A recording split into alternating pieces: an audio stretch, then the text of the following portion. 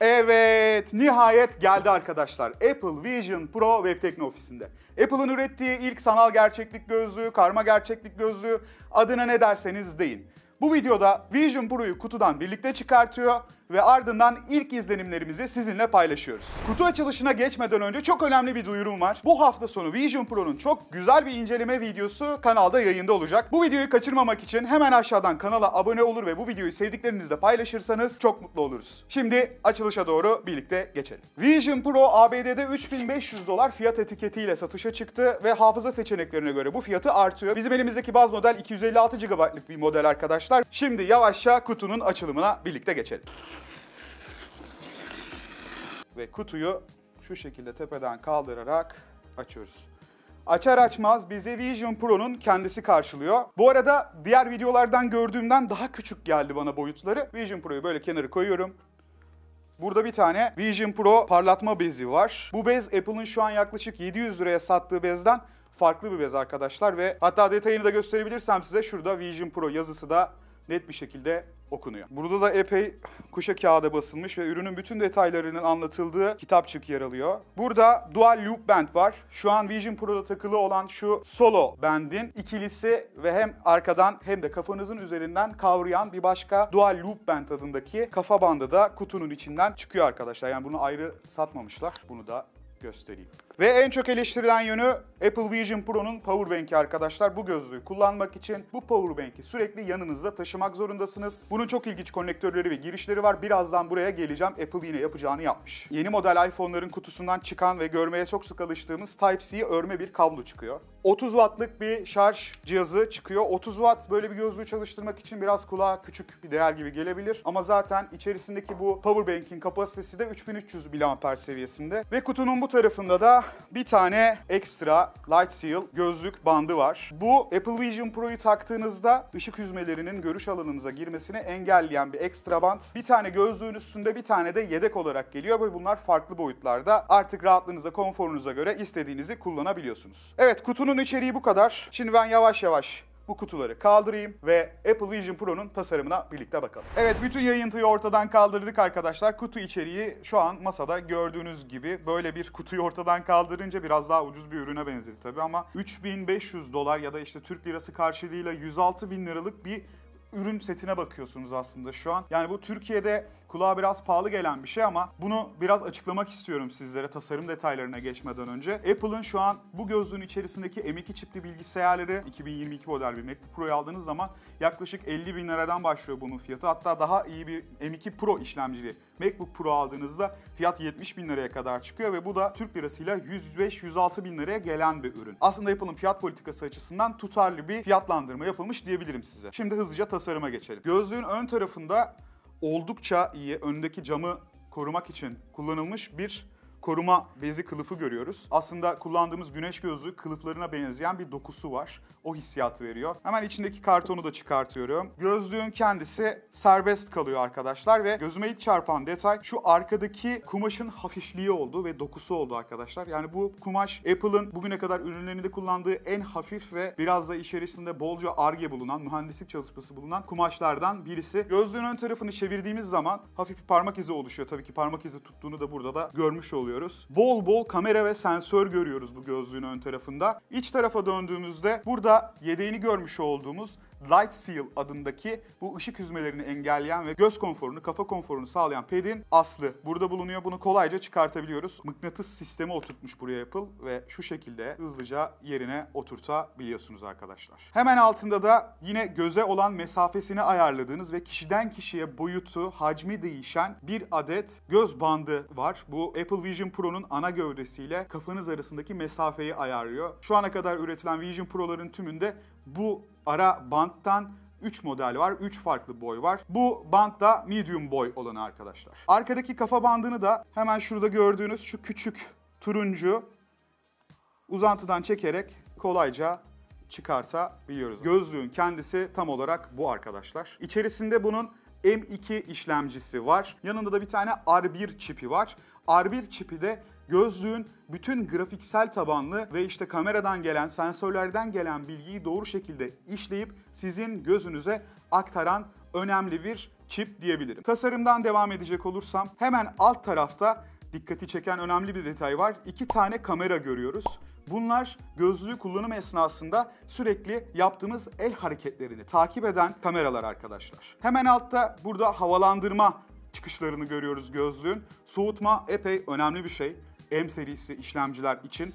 Burada da hava giriş kanalları var. Tasarım açısından İlk izlenimlerime göre Apple'ın iPhone, iPad ve Mac'lerinde uyguladığı birkaç ufak tefek çizgiyi, buton tasarımını da, soğutma sistemi tasarımını da bu ürünün taşıdığını söyleyebilirim. Şurada gördüğünüz ve bizim hemen şakaklarımıza doğru gelecek olan şu çıkıntılar da bu gözlüğün hoparlör ve ses sistemi arkadaşlar. AirPods'larda yer alan Spatial Audio denen bir özellik bu gözlükte de yer alıyor. Yani kafanızı nereye çevirirseniz önünüzde açtığınız videonun sesi sizin kafanızın konumuna göre size aktarılıyor. Gözlüğün iç tarafına baktığımız zaman burada kumaş bir doku görüyoruz. Vizörlerin yer aldığı ve gövdenin yer aldığı alanın arasını dolduran bu kumaş Apple'ın özel olarak tasarladığı bir kumaş. İçerisinde su sıçramalarına veya terlemelere karşı bu sıvıları gözlüğün içerisine donanımına almasını engellemek için bir kaplamada yer alıyor. Onu da aktarmış olayım.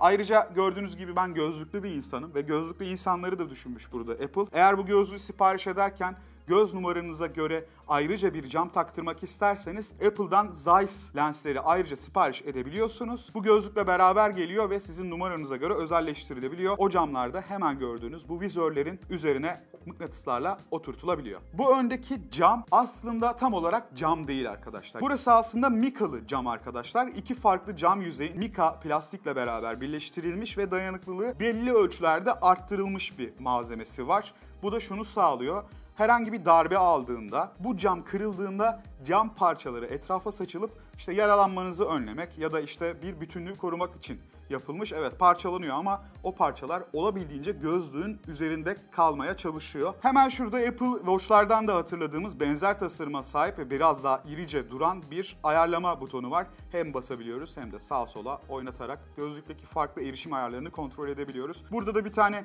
hızlı erişim butonu konumlandırılmış. Yeri geliyor fotoğraf çekmek için, yeri geliyor video kaydına girmek için bu butonu kullanabiliyoruz arkadaşlar. Elimiz ve parmaklarımız dışında. Evet şimdi o meşhur powerbank ile devam edelim arkadaşlar. Hemen alıyorum. Şu üstündeki kağıdı da hızlıca çıkartıyorum. Powerbank'in kablosunu da çıkartıyorum. Şurada bir konnektörümüz var. Aldım dışarıya bunu da. Bir tane sim pini getirdim yanımda çünkü size göstermek istediğim çok önemli bir detay var. Buradaki güç kablosunun Vision Pro'nun powerbank'indeki girişi özel olarak tasarlanmış. Apple burada daha önce işte MacBook serilerinde falan gördüğümüz MagSafe'lere benzer bir strateji izliyor. Şurada bir Type-C girişi görüyoruz ama bu powerbank'i şarj etmek için arkadaşlar. Powerbank'in asıl güç paylaştığı ve gözlüğe enerji aktardığı kablonun girişi ise herhangi bir farklı kablo kullanamayacağınız anlayamayacağınız şekilde tasarlanmış. Şuradaki küçük deliğe sim pinini, sim iğnesini batırdığım anda gördüğünüz gibi kablonun konnektörü ortaya çıktı. Bu girişi bir yerden hatırlayan vardır umarım. Apple'ın yakın zamanda iPhone 15'lerden itibaren ortadan kaldırdığı Lightning girişin biraz daha geniş ve iri yapılısını Vision Pro'nun powerbank'inde görüyoruz. Kablonun diğer ucundaysa gözlüğe bağlanan dairesel bir konnektör görüyoruz. Bunu farklı yapması bence sorun değil. Birazdan gözlüğe takınca siz de rahatlıkla göreceksiniz ki gözlük hareket ederken çevremize dönüp dolaşırken bir tane Type-C kablonun orada sallanması pek hoş bir deneyim yaratmıyor. Kabloyu kırabiliyoruz. Bu da kablonun kırılmasını engellemek için, gözlüğe rahat bir şekilde enerji aktarmasını sağlamak için tasarlanmış bir konnektör. Powerbank'e geri dönecek olursam başka herhangi bir konnektör ya da giriş görmüyoruz. Bir adet Type-C şarj girişimiz var. Bir de Vision Pro'ya güç aktaran çıkışımız yer alıyor Powerbank üzerinde. Burada da bir Apple logosu görüyoruz. Ve diğer küçük Type-C kabloya geçiyoruz. Bu da Powerbank'i şarj etmek için kullanılacak olan bir kablo. 3300 mAh batarya kapasitesi var bu Powerbank'in ve bu Apple Vision Pro'da 2 saatlik bir kullanım sunuyor. Yani 2 saat sonra bu ürünü şarja takmak zorundasınız. Ya da bu kablo aracılığıyla daha büyük kapasitedeki başka bir powerbank'i bu powerbank'e bağlamak zorundasınız. Eğer dışarıda bu gözlüğü kullanacaksanız ve 2 saatten fazla süre dışarıda geçirecekseniz sürekli iki powerbank taşımak zorunda kalacaksınız. En çok hoşuma giden detaylardan birisi bu kafa bandı oldu arkadaşlar. Şurada gözlüğe bağlandığı iki küçük konnektörü görüyoruz. Burada paslanmaz çelik malzeme kullanılmış. Hemen iki tarafında gördüğümüz bu turuncu ipi de şuradaki ayarlama potuna bağlamışlar. Öne doğru sıktıkça gözlüğü sıkıyor, geriye doğru açtıkça da gözlüğü gevşetiyoruz. Dual bende geçtiğimiz zaman burada hem kafamızın arkasında hem de üstünde yer alacak bandı görüyoruz. Bu bantta da bu bantta da paslanmaz çelik konnektörler yer alıyor. Burada zamanla aşınacak ya da bozulacak bir cırt cırt yüzeyi yok. Oldukça kaliteli hatta o tırtıklar veya o pürüzlü yüzey elime bile gelmiyor. İki farklı light seal'ı size göstermek istiyorum. Burada W+, burada da W harfini görüyoruz. Bu W yazan biraz daha ince, daha hafif ve gözlüğü kafanıza daha yakın tutmanızı sağlayacak olan bant. Burada da W Plus'ta da daha kalın ve dolgulu bir yapı görüyoruz. Şöyle göstereyim. Altta W, üstte W Plus Light Seal'lar yer alıyor. Bunların dokusu aslında Apple'ın bu üst segment kulaklığı AirPods Max'teki kulak pedlerine çok benziyor arkadaşlar. Benzer bir kumaş yapısı da tercih edilmiş diyebilirim. Artık yavaş yavaş gözlüğü toplayalım ve ilk deneyim anına geçelim arkadaşlar. Şuradaki Light Seal yastığı ve Light Seal'ı taktığımız ara bölümü kolayca yerine oturttum gördüğünüz gibi. Gözlüklü birisi olarak Apple Vision Pro'nun kafama tam oturması için ben en küçük ve en ince Light Seal'ı seçip yerine takıyorum arkadaşlar. Tekli kafa bandıyla deneyeceğim. Şurada da diğer konnektörü takalım. Tabii ki gözlüğü kafama takmadan önce güç kaynağını da bağlamam gerekiyor. İki tarafı da aynı bu arada. Herhangi bir şekilde fark etmiyor. Yavaşça yerine oturtuyoruz. Şu gördüğünüz yine paslanmaz çelikten yapılmış girişte gözlüğün güç girişi arkadaşlar ve powerbank'ten çıkan kablonun diğer ucunu da şu şekilde bu konnektöre takıyoruz. Burada hemen bir ışığın yanıp söndüğünü görüyoruz. Bu Apple Vision Pro'nun güç almaya başladığını ve açıldığını bize gösteriyor. Şimdi bir gözlüğü gözüme takıyorum ve kurulumunu gerçekleştiriyor. Gözlüklü bir insanım arkadaşlar ve gözlüğümle bunu kullanmak zorundayım. Normalde dediğim gibi göz numaranıza uygun Zeiss lensleri de alıp takabiliyorsunuz buna. Şimdilik öyle bir imkanım yok. Size ilk deneyimi net bir şekilde aktarmak için gözlükle takma riskine giriyorum bu gözlüğü. Pek alan varmış gibi gözükmüyor ama biraz zorlayacak beni ve oturdu. Yani öyle bir deneyim yok ve sizi görmeye başladım arkadaşlar. O meşhur hello yazısı tam karşımda beni karşıladı. Şu an benim kendi gözümle gördüğüm görüntüyü bana aktaran şey bu gözlüğün kameraları ve sensörlerinden gelen verilerle R1 çipten işlenmiş görsel bilgiler arkadaşlar. Bir iPhone ya da iPad'i yanımda bulundurmam gerektiğinden söz ediyor kurulumu başlatmak için. Ve bunu net bir şekilde görmenizi istiyorum. iPhone çoktan tanımış bile. Baktığımda ekranı açıktı arkadaşlar iPhone'un. Şu an karşımda bir tane küçük bir kutucuk, QR kod kutucuğu çıkıyor ve bu ekranda yüzüyor arkadaşlar. iPhone'un ekranıyla eşleştirmemi istiyor ve yavaşça getiriyorum. Daire çıktı, bir daire ve checkmark yaptı tekrar. Yani bir tik attı bana. iPhone'la eşleştirdiğini söyledi. Bir demo başlattı gözlerim ve ellerimle Apple Vision Pro'yu kullanacağımı söylüyor. Bir video oynatıyor şu an. Nesneye bakıp şu hareketi yaptığımda onaylama hareketi yapacağımı gösteriyor. Yani bu videoyu anlatmak zorundayım size ama keşke aktarabilsem. Bu arada gözlerim gözüküyor mu dışarıda? Harika. Muhtemelen içerisinde 4 tane göz kamerası var bu arada bunun. Yani gözlerimi takip eden bir iris tarayıcı, bir true depth kamera ve 4 tane de ekstra göz takip kamerası var. Gözlüğün iç tarafından bahsediyorum size. Muhtemelen gözlerimi de hatalı görecek çünkü gözlükle kullanıyorum şu an. Tekrar buradaki digital crown butonuna basmamı istiyor ve gözlerimi ve ellerimi ayarlayacağını söylüyor. Şu an ellerimi tarıyor. Tam tersini yapmamı istedi. Avuç işlerime bakacak. Bir nokta verdi ekranda ve şu an oraya bakmıyorum ısrarla atlamasın diye. O noktaya bakıp ve o ilk meşhur hareketi yapmamı istiyor benden. Bakıyorum. Evet, bakıyorum hocam. Ellerimi görmüyor musun? Farklı bir yerde deneyelim. Şöyle deneyelim. Gözlerimi tanımama sebebi büyük ihtimalle gözlükle beraber bu ürünü kullanıyor olmam. Evet muhtemelen gözlüğü çıkartarak devam edeceğiz. Buradan da şunu anlamış oluyoruz. Evet gözlükle Vision Pro kullanabilirsiniz. Eğer gözlükleriniz buharlanırsa Apple Vision Pro sizin gözlerinizi göremiyor. O yüzden gözlüksüz bir şekilde bu incelemeye devam edeceğim. Apple'ın Persona adını verdiği ve şu an beta sürecinde olan yeni teknolojisi karşıma çıktı. Bunun için gözlüğü çıkarmamı istiyor benden ama kollarımı ve omzumu rahatlatmam gerektiğini söyledi.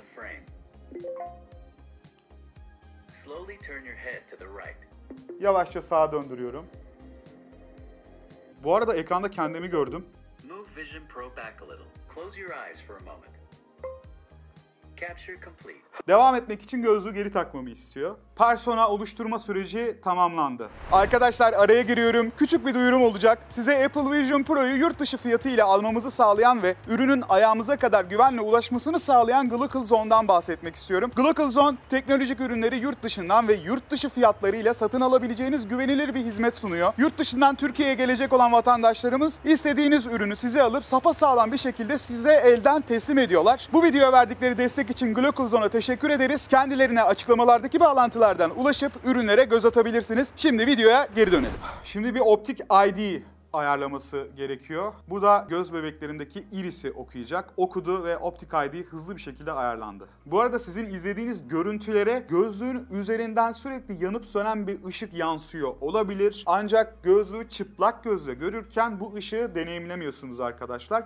Bu ışık gözlüğün lidar sensöründen geliyor. Bu alanın derinliğini ölçüyor ve konumlandıracağım pencereleri, ellerimin hareketlerini, dijital avatarımdaki el hareketlerini vesaire bu dataları bu lidar sensördeki düzenli olarak flash attığı o sinyallerle sağlamaya çalışıyor. Evet Apple Vision Pro'nun menüsü bu arkadaşlar. Çok basit bir şekilde temel olarak iPhone'larda ve iPad'lerde kullandığımız popüler uygulamaların birkaç tanesini menüde hemen karşımızda görüyoruz. Apple TV, Apple Music, Mindfulness adında bir tane terapi uygulaması, ayarlar, Freeform adındaki bir form uygulaması, Safari tarayıcısı, fotoğraflar, notlar, App Store, mail, mesajlar, Keynote uygulaması ve uyumlu uygulamalar. Oraya da bir bakalım. Uyumlu uygulamalarda şu anda bir kitap, takvim, saat gibi temel bir telefon ya da tabletten bekleyebileceğiniz, temel bir bilgisayardan bekleyeceğiniz uygulamalar yer alıyor arkadaşlar. Soldan People'a tıkladığımda şu an FaceTime yapabileceğim insanların olduğu bir rehber görüyorum. Boşlukta süzülen birkaç daire var. Buraya benim bağlantılarımı ekleyecek anladığım kadarıyla. Hemen alta girdiğimde Environments, çevre detaylarına girdiğimde muhtemelen beni farklı görsellikteki çevrelerin içerisine atacak ve etrafındaki alandan tamamen kopmuş olacağım. izole hale geleceğim. Hatta ayla bunu deneyelim. Immersion'ı ayarlamamı istiyor. OK'ye bastığımda beni şu an ayın içerisine attı. Yukarıdaki şu Apple Watch'a benzer olan butonu çevirerek bulunduğumuz alanın etkisini, görüş alanını genişletebiliyoruz. Ne kadar genişletirsek o kadar o alanın içine girmiş oluyoruz arkadaşlar. Gördüğünüz gibi aydayım. Apple'ın buradaki işlem gücü ve kapasitesi ve gecikme süresi aslında az çok belli oluyor. Ellerimdeki gölgelenmeleri ve gecikme izlerini görüyorsunuzdur. Ama bu oldukça yumuşak bir şekilde aktarılıyor bize. Şu an etrafımda gördüğünüz bu ay kraterinin ve ay yüzeyinin neredeyse çok kaliteli bir 3 boyutlu modellemeye yakın olduğunu söyleyebilirim. Yani gördüğüm en iyi sanal gerçeklik deneyimlerinden birisi bu arkadaşlar. Yani buradaki taşlar, şu önümdeki kraterin hemen aşağıya doğru eğilen çukuru, derinliği, Sağındaki bu kaya oldukça gerçekçi ve yakınlık ve uzaklık hissini oldukça kaliteli bir şekilde veriyor. Şahin. Sesime gel. Göç etmek için doğdular. Eğer ben herhangi bir ortamda izole durumdaysam çevremde biri az önce Melih'in yaptığı gibi konuştuğunda yavaş yavaş ortaya çıkıyor. Şahin. Aydan yavaş yavaş çıkıyorum. Farklı bir çevresel ortama geçelim. Tekrar bastığım zaman evet beni geriye atıyor. Farklı renklerde ve rahatlatıcı, iç açıcı manzaraların olduğu birkaç tane çevresel element var. Düşük ışık uyarısı verdi. Burada düşük ışık ortamında ben yeteri kadar iyi ayarlayamayabilirim anlamına gelen bir mesaj ve uyarı çıktı karşıma. Maksimuma çektiğimde kapsama alanını ve çevreleme özelliğini, immersive özelliğini beni Yosemite Parkı'na attı. Burada o parktaki dağları, ağaçları, karlı bir yüzeyi görüyoruz ve tekrar ara ara ekranımıza geliyor. Ben yukarıda şu an tam karşımda olan ışıklara dönüp baktığım zaman çıkan düşük ışık uyarısını da görüyorsunuz. Hatta ben biraz da ellerimi orada geçireyim. Hafif bir ses de veriyor bu arada. Ben sesi şöyle biraz arttırmak istiyorum. Size de gelsin. Şu an sanıyorum bu Milli Park'taki sesleri vermeye çalışıyor. Melih yine meydana çıktın abi. Hayalet gibi ödüm koptu yemin ediyorum. Gerçekten bu arada korktum. Farklı bir ortama geçelim. Bir dağ tepesi, bir dağ zirvesi var. Evet ses yine değişti. Şu an bulunduğum yerde hafif bir yağmur var. Ekran kaydından net şekilde şuradaki karanlık bölgeden yağmurun yağdığını ve görebiliyorsunuz. Yakında bir video açıp onu da göstermeye çalışacağım size. Karşımdaki gölü görüyorsunuz ve suyun üzerine düşme sesini net bir şekilde duyduğunuzu düşünüyorum. Ben şu immersive kısmını da kapatıp geriye doğama dönmek istiyorum. Ortamıma, doğal yaşam alanıma dönmek istiyorum. Evet, kendi ortamıma, çevreme döndüm arkadaşlar. Ve hemen size az önce bahsettiğim o video deneyimini aktarmak istiyorum. Bu arada küçük bir not. henüz YouTube ve Netflix gibi uygulamalar belki duymuşsunuzdur daha önce Apple Vision Pro'da yer almıyor. Şimdi önümde Safari açık. Hızlı bir şekilde YouTube'a girmeye çalışacağım. Klavyem sağ tarafta açıldı. Şöyle biraz daha güzel bir noktaya ayarlayayım. Yazma deneyimi nasıl olacak hiçbir fikrim yok. Beraber öğreneceğiz ve görmüş olacağız. Dokunmatik klavye gibi gözüküyor ve baktığım harfi parlatıyor doğal olarak. O şekilde çalıştığı için sensörleri. Ama burada zannediyorum ekstra seçenekler de yer alıyor. Çok fazla detaya girmeyeceğim. Bunları inceleme videosunda anlatırız size. Şimdilik baktığım harfe yazarak devam ediyorum. Harfe bakıyorum, onaylıyorum. Silmek istersem backspace'e silme tuşuna basıp şöyle onaylama hareketi yapmam gerekiyor. Geri dönüyorum. YouTube'a gireceğim. Tek tek biraz zor. Sanıyorum çıktı. Geldim. Bu arada Safari'de de benzer bir deneyim yaşıyorum. Hatta biraz uzağımda kaldı. Biraz tarayıcı ekranını büyütüyorum. Kendime doğru çekmek istiyorum ki bilgisayara yakın bir deneyim yaşayalım ve size o special audio deneyimini aktarabileyim. Herhangi bir video açacağım.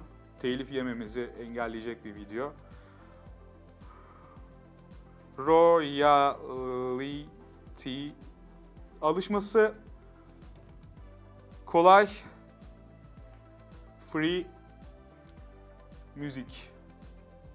Normalde bilgisayarları kullanırken yaşadığınız deneyim nedir? Bir klavyeniz bulunur, bir fareniz bulunur, önünüzde bir ekran bulunur. Bu basit deneyimde şöyle bir hareket silsilesi takip edersiniz. Kontrol ettiğiniz ara birime bakmak zorunda kalmazsınız. Yani mesela mouse'la bir yere tıklarken mouse'un kendisine değil de ekrandaki imlece bakarsınız. Ama Apple Vision Pro gibi kontrolü ara birimlerden kurtaran, bu tip ara kontrolcü kullanmayan bir gözlüğü ya da ekosistemi kullanırken alışmanız gereken şey kontrol etmeniz gereken noktaya bakmak. Nereye tıklayacaksanız oraya bakmanız gerekiyor. Bunun hızlıca bir demosunu göstermek istiyorum. Safari'ye geri dönüyorum. Karşımda bir YouTube ekranı var. Biraz daha ayarlamak için kendime bunu çekiyorum. Bakıyorum. Şöyle hoş bir müzik açmaya çalışalım.